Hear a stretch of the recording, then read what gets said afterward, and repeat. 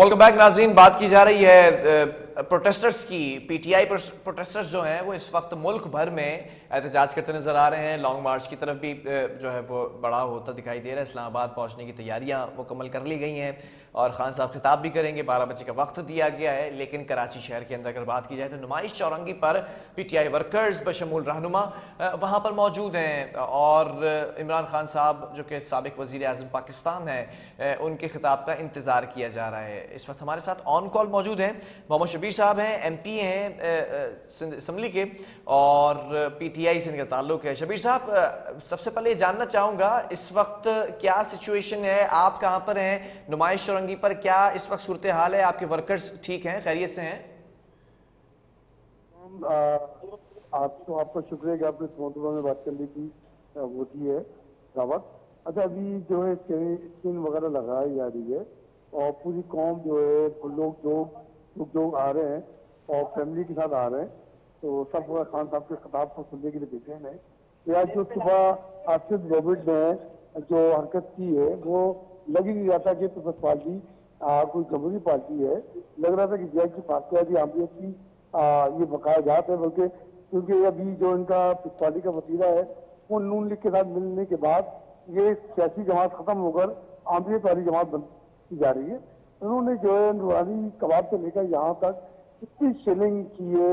आप तस्वर नहीं कर सकते तो हमारे दो कारकुन भी शहीद भी हो गए जो अस्पताल गए हुए और काफ़ी जख्मी भी हुए तो उन्होंने जो है इंतहाई उससे काम लिया, फायरिंग इंतहाई शिद्दत से, फायरिंग की इंतहाई शिद्दत से जो है वो शेलिंग की, लेकिन शबीर साहब ये ये भी जानना चाहूँगा पुलिस की जानिब से लाठी चार्ज और आँसू के शलिंग क्यों क्यों की गई थी? रोका जा रहा था क्या पुलिस की जानिब से आप लोगों को? हाँ इन्होंने जो है पहले हमारा चार दिन पहले ऐलान था कि हम जो है वो नुमाइश में जो है स्किन वगैरह लगाकर खान साहब की तस्वीर को देखेंगे जैसा कि हमेशा करते रहते अब इन्हें पुरमन लोग थे हमारे इन्होंने जो है सुबह पूरा कथन किया हुआ था और फिर हमने हमें मजबूरन जो है दूसरे रास्ते से आना पड़ा। तो उन्होंने इतना शेलिंग किए इतनी फायरिंग किए समझ में नहीं आया कि उनको इस चीज़ की क्या ज़रूरत हो गई। ये तो एक जमहूरी पार्टी है ना। अच्छा जरा जरा ये भी बताते हैं फुटेजेस भी मौजूद है। आपके वर्कर्स की जाने से भी पथराव किया गया था पुलिस पर देखिए ऐसा कोई वाक्य नहीं हुआ। और इन्होंने जब शेलिंग शुरू की तो कुछ हो सकता है जो जज्बाती नौजवान होते। उन्होंने किया लेकिन ऐसा कोई बाकायदा कोई पार्टी की तरफ़ से हिदायत जामा नहीं था कि वो करें लेकिन पार्टी की तरफ़ से मरकजी चैरर आली रज़ी साहब यहाँ मौजूद थे हमारे कैसी के सदर मौजूद थे हम सारे एम सी एस यहाँ मौजूद थे।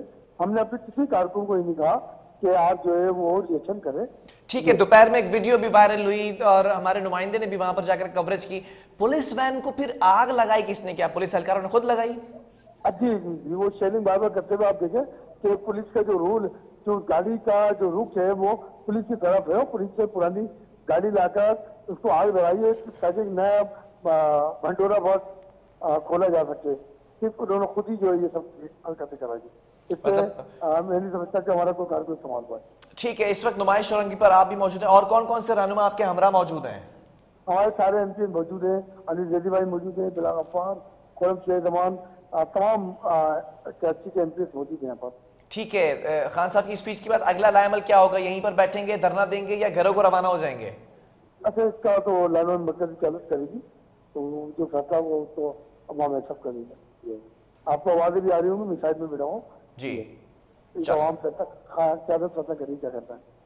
चलें ठीक है। मोहम्मद शबीर साहब M P A P T I की जानब से हमारे साथ ऑन कॉल मौजूद थे और मुतद रहनुमा पी टी आई के इस वक्त नुमाइश चौरंगी पर मौजूद हैं। बैठ कर इंतज़ार किया जा रहा है खान साहब की।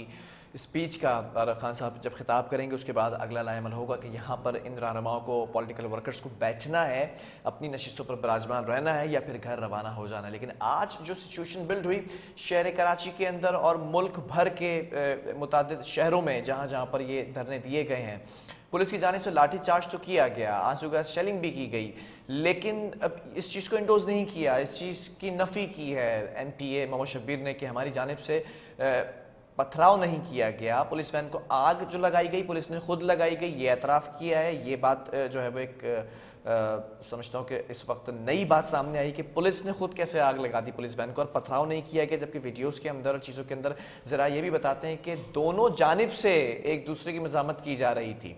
देखना यह कि अगला लायामल क्या होगा। बहरहाल, प्रोग्राम का वक्त ख़त्म हुआ है। अल्लाह हाफिज़।